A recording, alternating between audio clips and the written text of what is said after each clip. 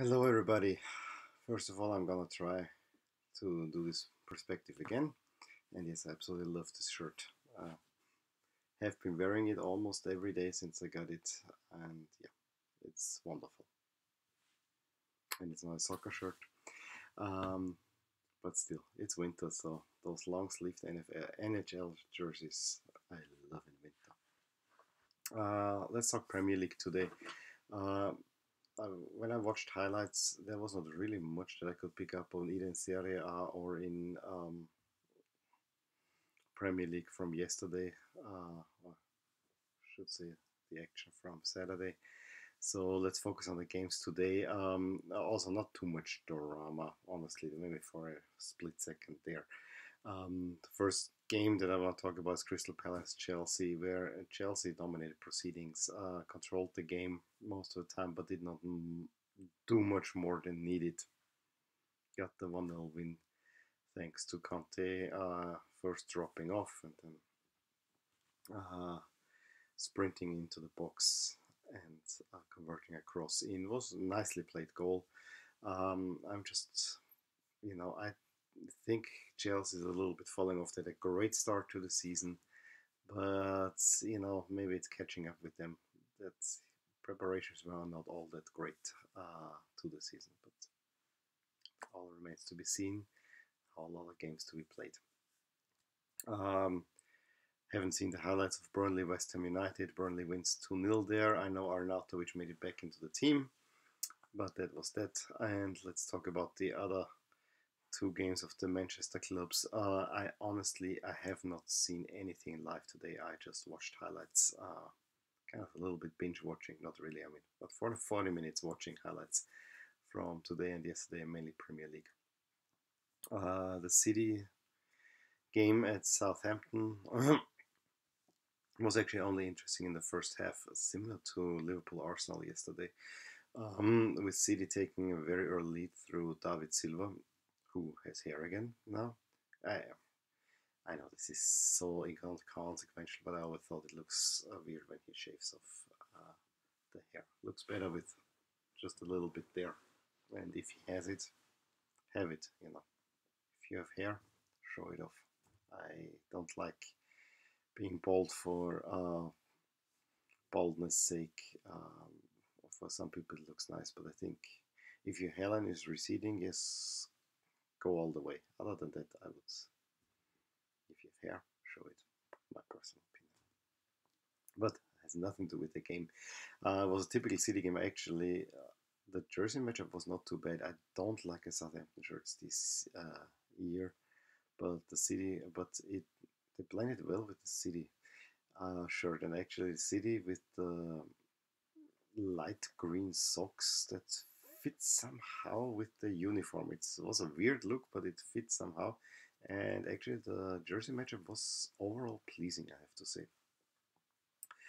Uh, so City, as they always do, they they control proceedings, but don't really get much through. And what happens?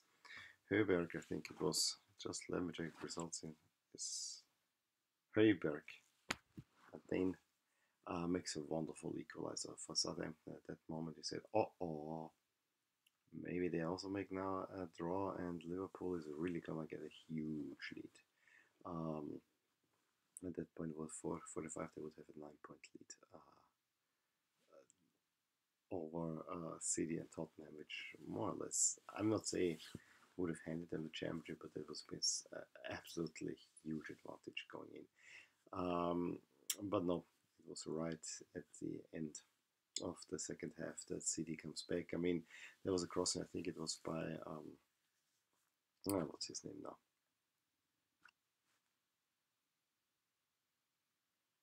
What do we call him now? Let lad, lad. We quickly check the. Uh, Sterling, Raheem Sterling. I'm tired.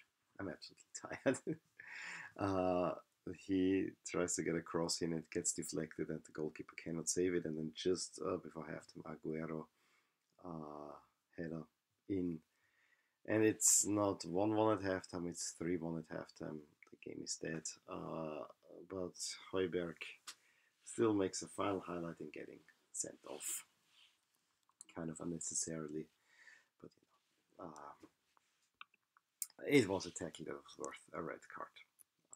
Uh, no doubts about that. And then the other uh, game between Manchester uh, United and Bournemouth was actually not that bad of a game if you look at the um, uh, standings, where uh, I think Bournemouth is quite close by overall. Well, now they're dropping off uh, a little bit, but you know Bournemouth had a had a, a decent season so far. And right from from, from the get go, uh, a wonderful, wonderful, wonderful goal. Marcus Rashford is at the touchline, uh, looking towards the stands, makes a little dance, turns around, uh, lets the player, uh, the defender, uh, stand there, and then he dribbles past two defenders, makes a crossing that just Pogba with um, the outside of his uh, right foot needs to put in net. Uh, that was the goal of the weekend, I gotta say. Really, absolutely beautiful goal. Uh, and it's all a Rashford. I mean, there was nothing for Pogba. Pogba adds a second, and you really gotta say, Pogba just needed uh, Mourinho gone, and that's that. So it was 2 0 uh, quickly. Uh, Pogba really asserting himself on Manchester United. You could see he's actually becoming the playmaker they always wanted, wanted to be. They just needed to have this dude uh, gone that was uh, riling up all the players. Uh, pretty obvious right now.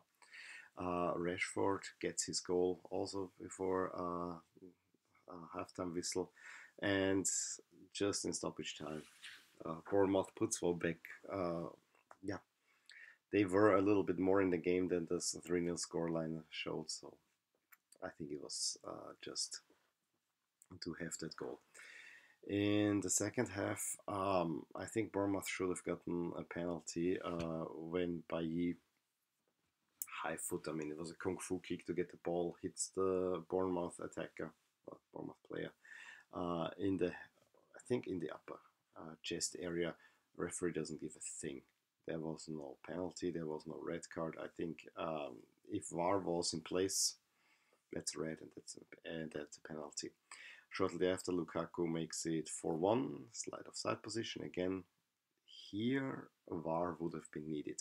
Uh, I said yesterday uh, that in Italy, that the Juventus game, VAR was a little bit of a hindrance, and yes, um, sometimes the Italian refs are a little bit too pedantic uh, using, using VAR, but I think for this Manchester United game, uh, it would have helped. And I honestly got, got, got to say, for most of the time, Italy VAR is working really, really well. I'm actually quite impressed how well it works there.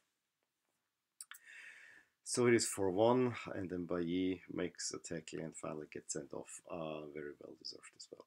But Ole Gunnar Solskjaer, really, really good start to his Manchester United career as coach. Um, well, he didn't play anyone uh, really great, but um, if you get Pogba back, you're about to some good stuff is about to happen.